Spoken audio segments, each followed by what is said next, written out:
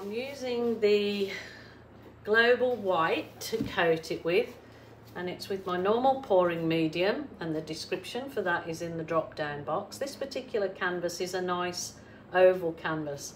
I thought I'd try it on a smaller canvas first before I go to a bigger one if it turns out really nice which I've done these before um, custom made champagne gold I call it it's a mix of 50% gold 50% silver so this is what I want to do first of all.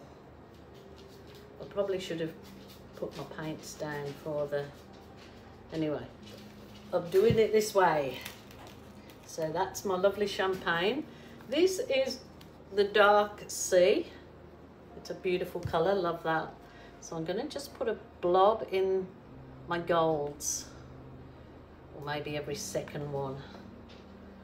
I've got a composition in mind, so I'm just hoping that it works out next to each other, never mind. So I should be wearing, if you're going to do this, wear a face mask, respirator, all the safety gear. That didn't really go far, did it? I think I need a bigger mallet. I have to go and raid my husband's. I wanted it a bigger smash than that. Ah! That's not a good smash. I need a I need, I need a proper mallet, don't I? I haven't got one. I'm going to have to go sneak in my husband's room and go mallet hunting. So I'm just going to get my balloon instead. So the mallet smash didn't actually come out.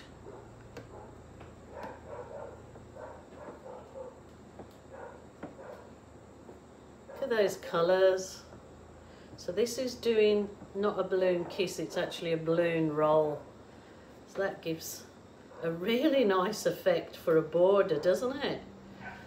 Well, it gives a nice effect whether it was the whole piece. That'd be a simple piece of art, finished. Just in those two colours. How effective is that? That's beautiful. Oh my goodness, now I don't want to touch that. Maybe I'll go to plan B and I go and get my mallet after some search. I am just going to um, try and jazz up this kind of very boring pour. A bit of the paint did separate, but that's not a problem really because it all adds to some of the nice effects in it. It's a nice little uh, canvas, oval shaped, but I just thought it needed a bit of jazzing up. So I thought, why not a stencil? So I thought about this stencil in here and adding some of these leaves just in the um, so all I'm going to do is just hold it there you can certainly tape it down but I'm going to just hold it here and what colour should I do? I'm going to go the dark blue in this particular one. Or should I go green? Ah. Just going to try this blue. You can always add some colours to it so it's not it's not a um, setting concrete. It's just a try to jazz up a canvas that, that didn't look you know too crash hot. This was the one um, that you seen me do the balloon smash on. Um, not balloon smash, what you call it, a hammer smash But somebody suggested I should use a child's mallet or a rubber, soft rubber that won't give such a crazy effect. I might squeeze a little bit of the gold on that, see if I can get just a, a little bit of gold in there as well. May not turn out how I envisaged, but maybe I should let one colour dry off before I try the other. Maybe.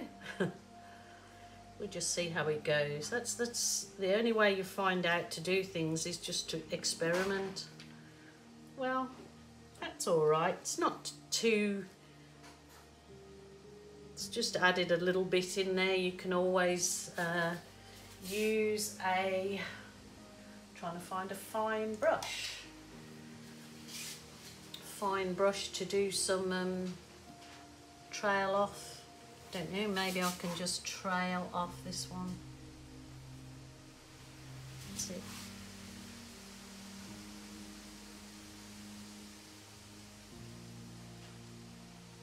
Trail off. And I was also thinking in this, this was a skin that I cut out of my own, um, off a, a skin off a, I pulled it off the piece of silica.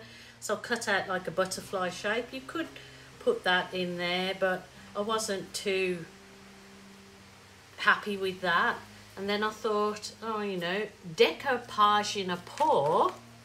So to actually decoupage your pour could be another idea. So I've got these lovely little, um, I think I'd do it, uh, maybe that way. Got these lovely little daisies here and you can absolutely bring your pour to life. Literally decoupage in a pour.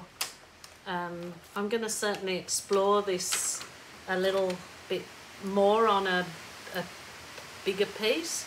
So it's just these little decoupage daisies and can put them in.